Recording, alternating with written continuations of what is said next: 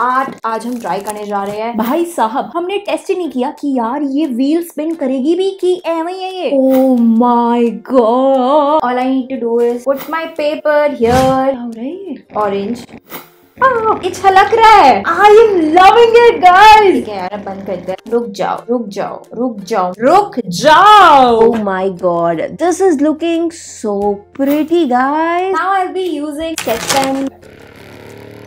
Magic है यार। तुम बोर हो रहे हो लाइफ में, कुछ नहीं है करने के लिए, ये करने बैठ जाओ यार। मैं एक और लास्ट पीस बनाने वाली बिकॉज़ बहुत ज़्यादा मज़ा आ रहा है यार इस प्रोसेस में। यार, आप देख रहे हो ये कितना सही लग रहा है। अगर आप इस चैनल पे नए हो तो सब्सक्राइब करना मत भूलना। एंड वीडियो कैसी लगी कॉमेंट सेक्शन में जल्दी से बता दो।